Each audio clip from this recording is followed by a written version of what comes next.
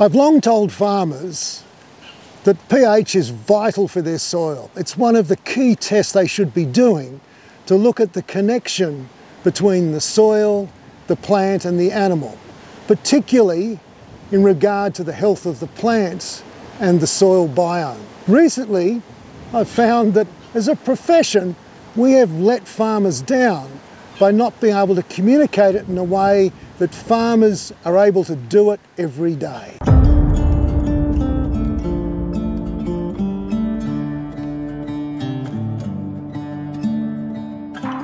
I am hoping that by the end of this video series, you'll be as passionate and as excited as I am about pH.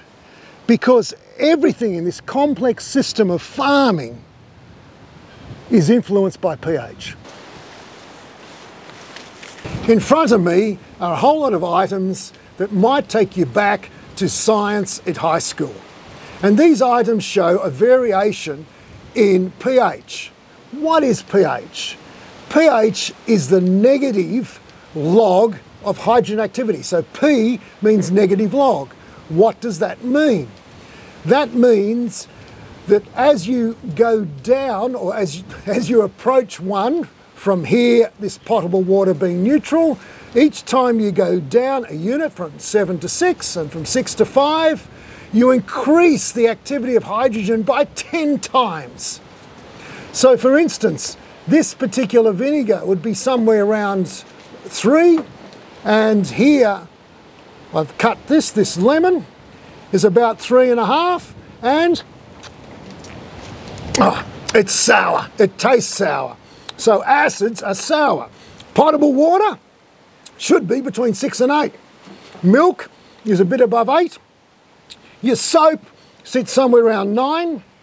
The ash that you get from your fireplace will be somewhere between 10 and 11, which is an absence of hydrogen. It has too much hydroxide.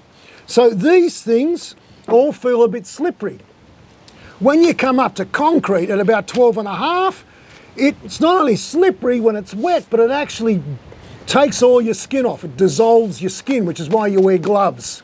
So slippery, acid, it's moderately easy to take a soil from this pH, say four and a half to six, you need maybe 20 times as much hydroxide to balance that acidity, that hydrogen. But to take it from here, three to six, you need a thousand times more to do it. So they're the key things to understand is that it's a multiplier of 10 that you're dealing with for each pH unit. So to move from 3.2 to 6 is a big journey. It is really important to understand what your pH is doing and if you're seeing a pH drift to correct it.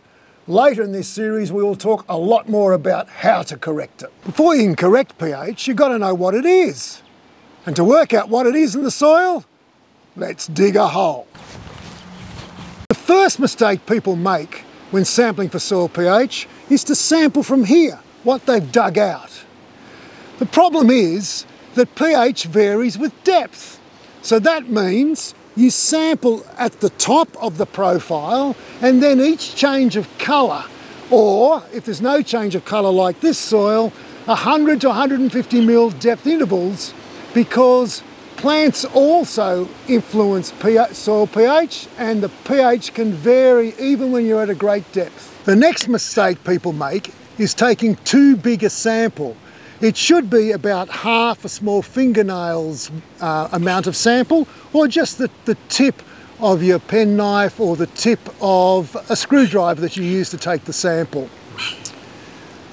Then you, it's wise to follow the same order that when you place it out because you can get mixed up if you vary your order on where you've taken it from. Once you've taken your sample, lay it out on a flat surface. It can be the tray of the ute, it can be the bonnet of the car. We use soil indicator tests. They're available from hardware shops, but the ones we use are designed especially for Australia and they're much better than the hardware shops because they have three indicators. The ones from the hardware shops only have one indicator. Many farms have a diversity of parent material and pH on them and they need the three indicators to get the correct pH. So please buy them from Inoculo Laboratories. The details will be at the end of this video on how to contact them. You can get sample kits or you can get bulk pH solution and indicator. So let's now talk about how to do it. The kits come with a variety of things. Instructions. I always lose these little satchels and I tend to very quickly lose my toggle sticks. So what I tend to do is use an old kitchen tile or these paint kits that you get from the reject shop and either my knife or sticks I pick up because I've lost everything else along the way. So let's now go through the process that you're taking. One is an indicator and the other is a colour fixer. Neither are toxic or hazardous, but the indicator can stain you. So be aware that it's going to leave a permanent stain until your skin wears off. So now you run several drops of water or sorry, indicator, and you mix it in with your stick or your knife. The stick's good because you can break off each bit as you've done it. Now these are the soils that we just sampled both top and 100 mil down. And these are a couple of very acid samples, this one from acid sulfate soil and this one from acid mine drainage. I probably put a bit too much indicator in the acid mine drainage. So now we're going to mix so we can get a paste-like consistency.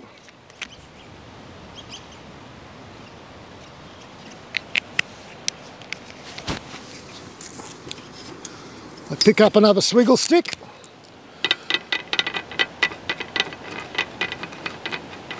You can see quickly there's a substantive difference in colour.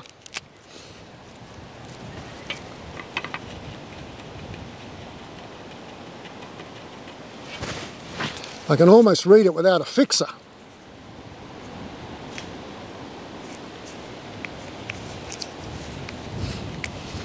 So what we're dealing with,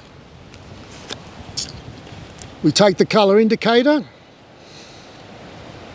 and this is running at the surface, a pH of about 6. And a, yeah, yeah, it's probably five and a half, yes, five and a half down at 100 mil. But if you look at this one,